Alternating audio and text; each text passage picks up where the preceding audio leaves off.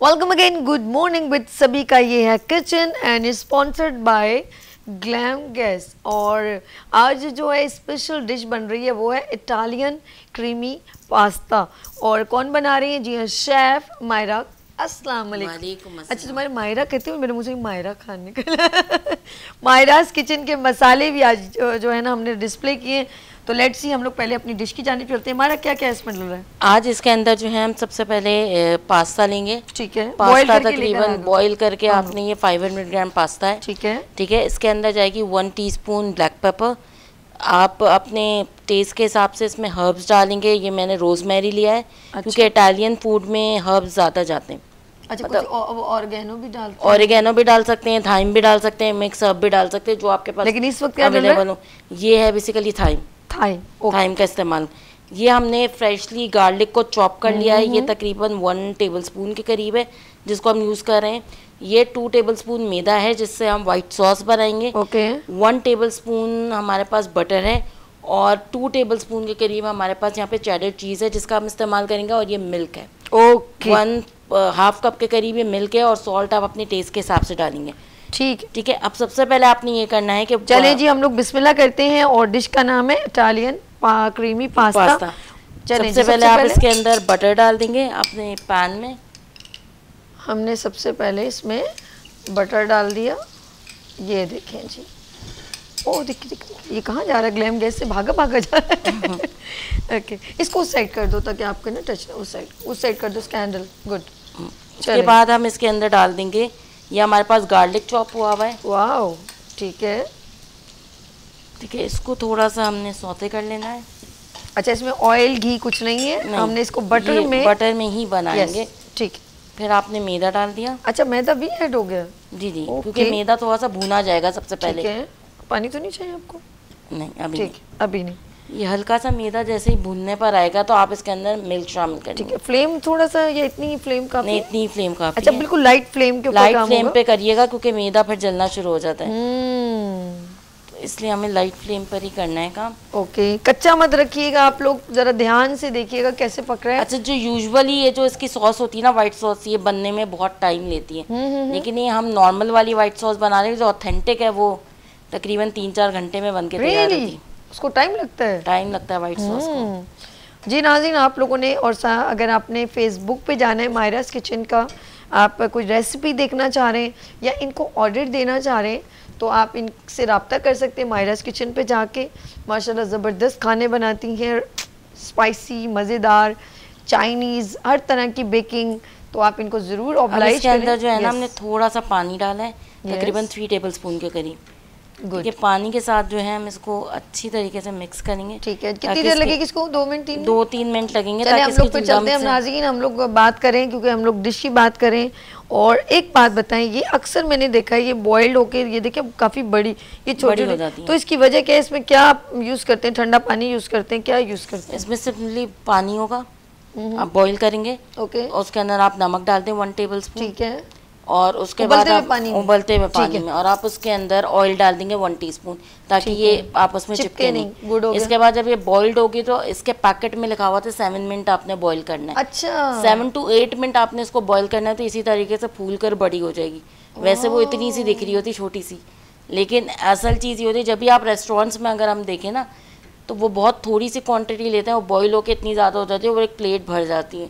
तो वो इसी वजह से जो है ना उनको रीजनेबल पड़ती है वरना तो उनको उसमें कॉस्ट में ही नहीं आएगी। अच्छा इसको ये ये जो आपने कहा चिपके ठीक है उसके बाद हमने इसको ड्रेन किया इसको छान लिया हमने उसके बाद का क्या प्रोसीजर इसको ठंडे पानी इसको ठंडे पानी से गुजारना है आपने। तो ये फिर वो जब तक इसकी स्टीम ना निकल जाए तब तक आपने ठंडे पानी से गुजारना है क्योंकि स्टीम अगर रह गई तो ये कुक होती रहेगी।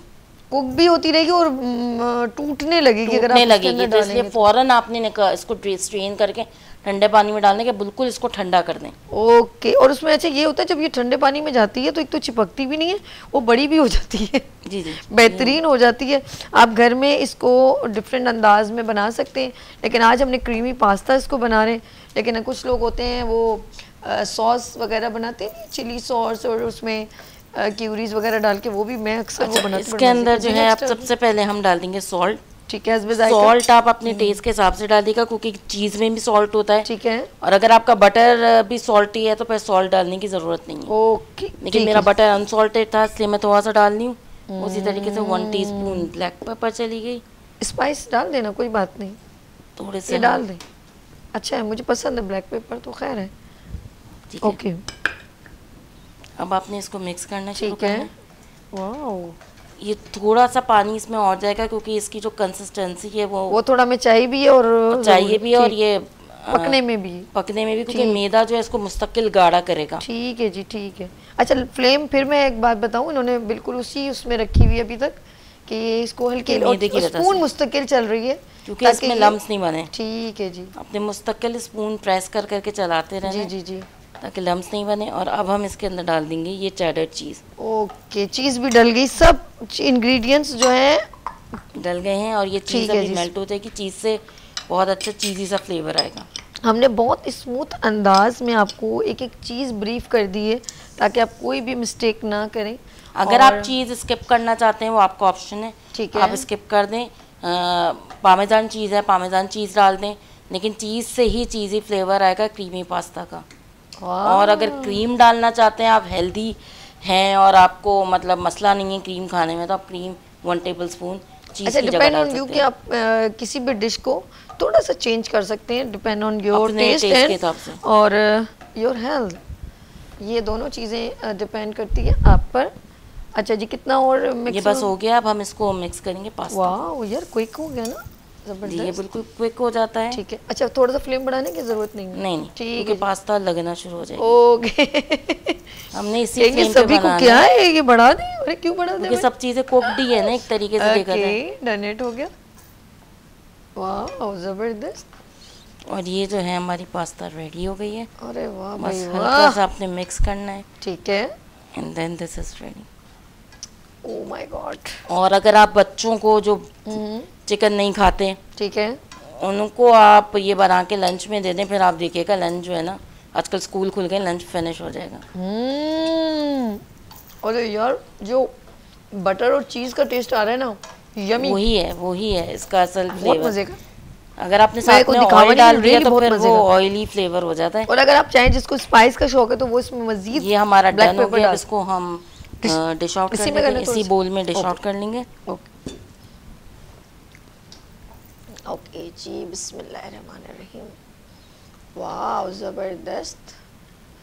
देखें जी मायरा ने जो है वो creamy pasta Italian Italian creamy pasta और झटपट बनेगी। गेस्ट आ रहे हैं पहले से बॉईल करके रख लें और फटाफट बना लें यार ये तो वैसे ही जल्दी हो जाता है चंदा। हाँ ये तो वही कह रही हूँ ना बॉईल हुई पास्ता हो हो गया आपका डन हो गया थैंक यू ज़बरदस्त। अच्छा इसके ऊपर ये मजीद कुछ तो इसके ऊपर हम ये हर्ब्स जो हैं ठीक है तड़ा खुशबू वगैरह से। डाल के सिर्फ़ हर्ब्स के साथ डेकोरेट करेंगे and that's it that's it और भाई pasta ready क्या बात है।